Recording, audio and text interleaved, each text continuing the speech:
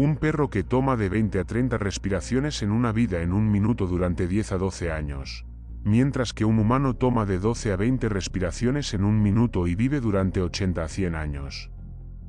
Pero una tortuga, la que respira solo de 3 a 5 veces en un minuto, vive durante 500 a 600 años. De esto está claro que cuanto menor sea la cantidad de respiraciones que tiene un organismo, más tiempo puede vivir. Al comprender esto, los antiguos habían comenzado a trabajar en la ciencia de reducir la cantidad de respiraciones y aumentar su profundidad. Porque entendieron que un ser humano obtiene un número fijo de respiraciones, no años y meses para vivir, y el número de respiraciones a tomar es limitado. La vida puede prolongarse reduciendo la velocidad, pero esta desaceleración y alargamiento de la respiración debería ocurrir naturalmente.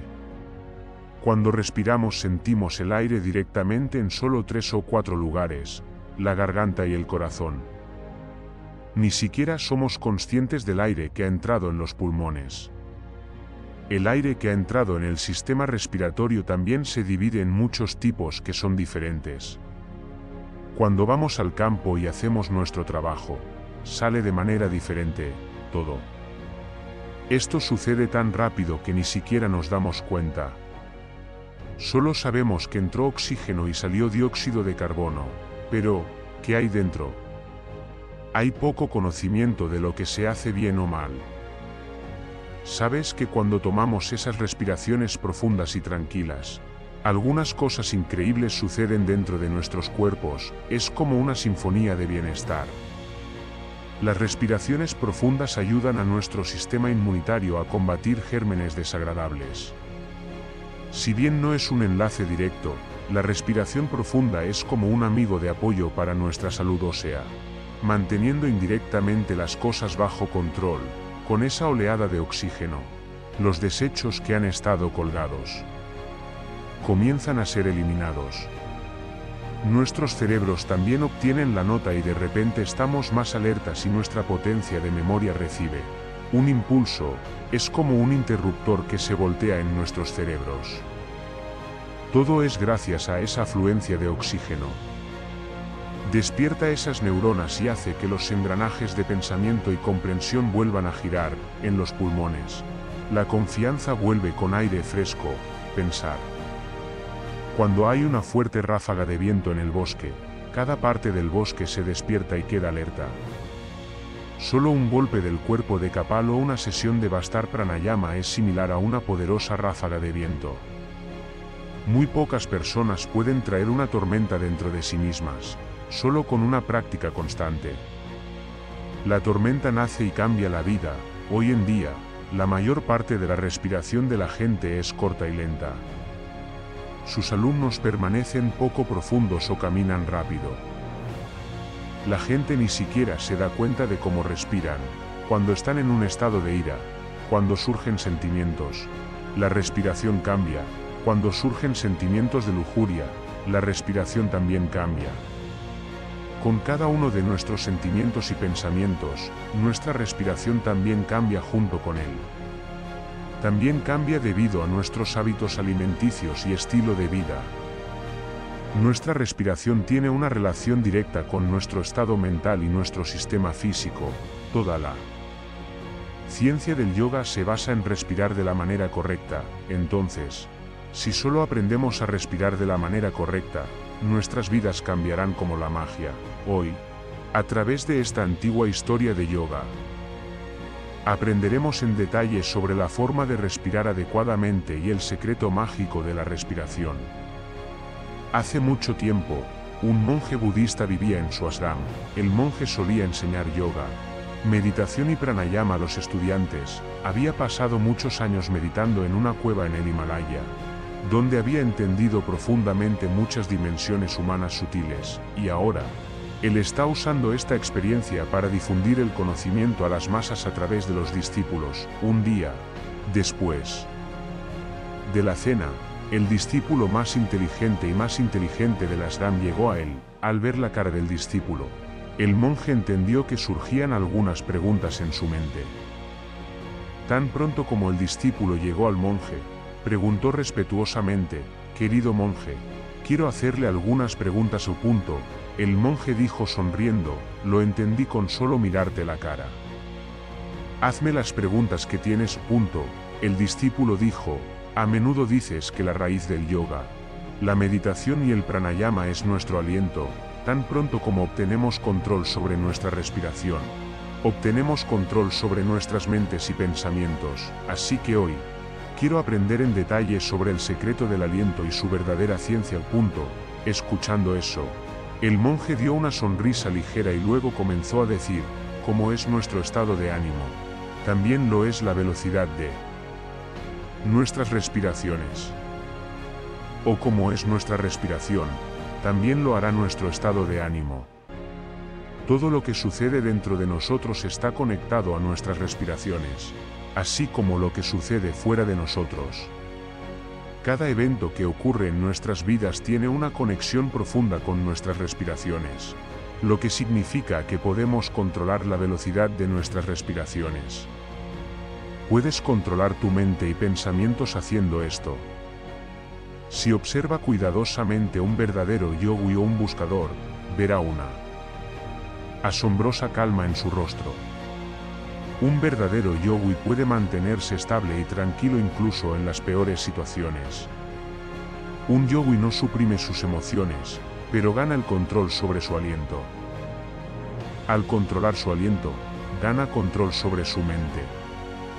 El hombre cuya mente está bajo su control tiene la solución a todos sus problemas, señalando hacia el discípulo. Dijo Mank, es posible que haya oído hablar de ciertos yogis que se dice que viven durante 150, 200 o incluso 300 años. ¿Cómo logran extender sus vidas?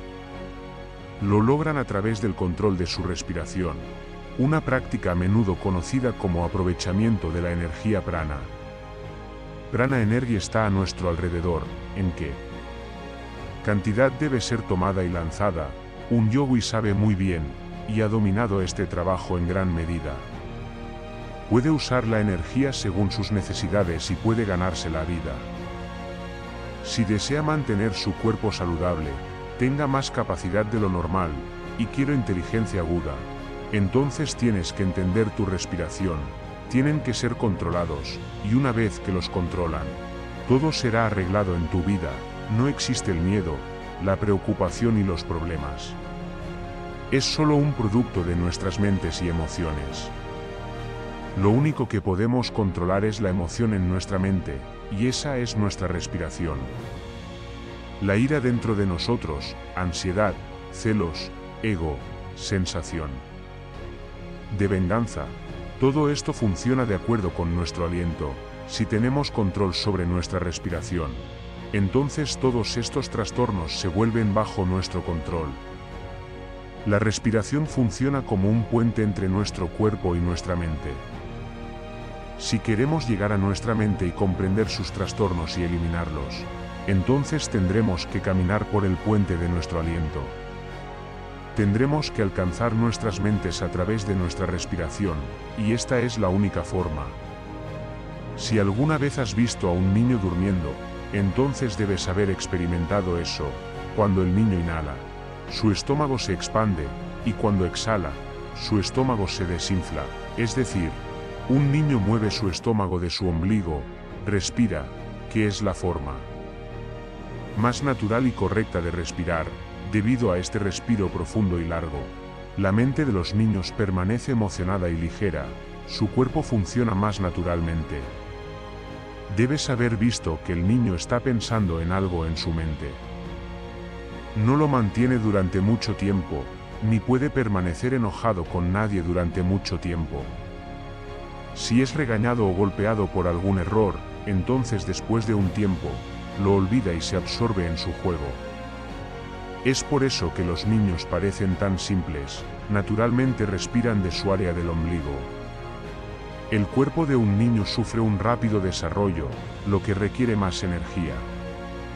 Para satisfacer esta demanda de energía, se necesitan respiraciones más largas, por lo tanto, la naturaleza les ha otorgado el regalo de la respiración extendida, sin embargo, Es importante tener en cuenta que esta respiración más larga es esencial para cada ser humano. Es un regalo natural. Sin embargo, con el tiempo, los humanos han alterado sus patrones de respiración natural. Muchos ahora respiran de sus cofres en lugar de sus diafragmas. Cuanto más cortas fueran respiraciones, más susceptibles nos volveremos a las preocupaciones y los asuntos triviales. Por el contrario, las respiraciones más largas y más profundas conducen a una mayor felicidad y paz interior. El monje continuó explicando que, en promedio, una persona toma de 12 a 20 respiraciones en un minuto. Es importante comprender que nuestra respiración está íntimamente conectada con nuestro estado mental y bienestar físico. Cuando el número de respiraciones por minuto cae por debajo de las 11, nos sintonizamos más con los muchos acontecimientos sutiles en nuestro entorno, al controlar nuestra respiración. Podemos desarrollar una sensibilidad extraordinaria al mundo que nos rodea, incluidos los sonidos y los sentimientos de los animales. Es posible que haya escuchado historias de criaturas aún temibles, como leones y tigres, apareciendo dócil en presencia de ciertos yogis.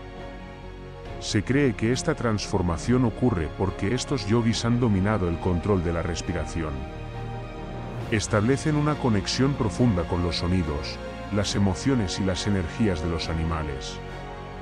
Cuando nuestra velocidad de respiración cae a alrededor de 9 respiraciones por minuto, podemos obtener información sobre las actividades de los árboles y la vida vegetal reduciendo nuestra respiración a menos de 6 respiraciones por minuto, nos permite comprender el funcionamiento de los objetos inanimados, las vibraciones que emiten y su interconexión con el mundo, en esencia, podemos sintonizar la esencia misma del universo.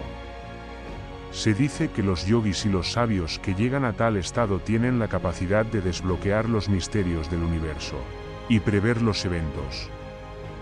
Dentro de él, Cuanto más estable sea nuestro cuerpo, más lento se vuelve nuestro aliento. Mantener un nivel constante de estabilidad en todo el cuerpo, mientras evita la respiración rápida, puede conducir a una mayor conciencia, según las enseñanzas del yoga. Breath Control faculta a un buscador para lograr hazañas extraordinarias, que trascienden las experiencias de una persona común, en la tradición yógica, se cree que al dominar la retención de la respiración durante periodos prolongados, un individuo puede desbloquear nuevas dimensiones de la existencia humana. Además, ciertas enfermedades que amenazan la vida para las cuales no hay una cura conocida, puede encontrar alivio a través del control disciplinado de la mente y el cerebro logrados por el control de la respiración. Uno puede llegar a un estado mental donde los altibajos en la vida no podrán molestarlo. Un yogi que ha ganado control sobre su aliento puede detener su aliento cuando quiera. El monje dijo además que cuando la respiración está perturbada, la mente también se vuelve inestable. Pero cuando la respiración está tranquila, entonces la mente también se vuelve estable y el yogi se vuelve de larga vida, por lo tanto, debemos aprender a controlar nuestra salud. ¿Alguna vez ha considerado la longitud de su respiración durante la inhalación en comparación con la exhalación? En circunstancias normales, generalmente inhalamos durante un lapso de aproximadamente 10 dedos de longitud, mientras que nuestra exhalación se extiende a unos 12 dedos. Esto crea una diferencia de un dedo en grosor. A lo largo de nuestras actividades diarias, hay casos en los que la duración de la inhalación, Superda con creces la de la exhalación, por ejemplo, durante las comidas. La inhalación puede alcanzar una longitud de 16 a 17 dedos, y la caminata de ritmo rápido puede extenderlo a 22 a 24 dedos, cuando se dedica a correr. La longitud de la exhalación puede extenderse a 45 a 50 dedos, y durante los momentos íntimos, puede llegar a 50 a 60 dedos, incluso mientras duerme. La exhalación puede Abarcar de 60 a 70 dedos, en nuestras escrituras. Se aconseja controlar la lujuria y la ira porque pueden agotar nuestra fuerza vital. La respiración a menudo se conoce como la fuerza vital de un ser humano. Cuando se le preguntó a un hombre de 200 años sobre el secreto de su larga vida, compartió solo dos prácticas simples, respirando al ombligo y mantener una postura vertical. Estas prácticas aparentemente directas tienen una gran importancia en los reinos de yoga y pranayama. A medida que el deseo sexual disminuye dentro, el buscador experimenta cambia. Reducirlo por dos dedos conduce al placer, disminuirlo por tres dedos mejora las habilidades de escritura, y reducirlo en cuatro dedos puede dar lugar a un discurso mejorado. Una reducción de cinco dedos puede otorgar a una persona una visión con visión de futuro. Al reducirlo de 6 a 7 dedos, el buscador gana el poder del movimiento rápido, permitiéndoles llegar a lugares distantes en pocos momentos. Sin embargo, estos poderes inactivos se despiertan solo cuando hay un deseo y un camino mental para despertarlos. Y la manifestación física de este camino mental es la respiración. Por lo tanto, el control de la respiración es el paso inicial en este viaje. Como el monje budista concluyó sus enseñanzas con estas palabras, el discípulo se embarcó en un profundo viaje de autodescubrimiento, guiado por la sabiduría del control de la respiración, es un camino lleno de antiguos secretos y potencial transformador, en Inspiración. Estamos aquí para invitarte a unirte a nosotros en este viaje de autodescubrimiento. Al igual que el buscador, tú también puedes explorar los efectos profundos del control de la respiración y desbloquee tu potencial interno. Es un viaje donde la profesionalidad cumple con el crecimiento personal. Y estamos aquí para caminar este camino contigo. Abracamos la sabiduría de Inspiración juntos.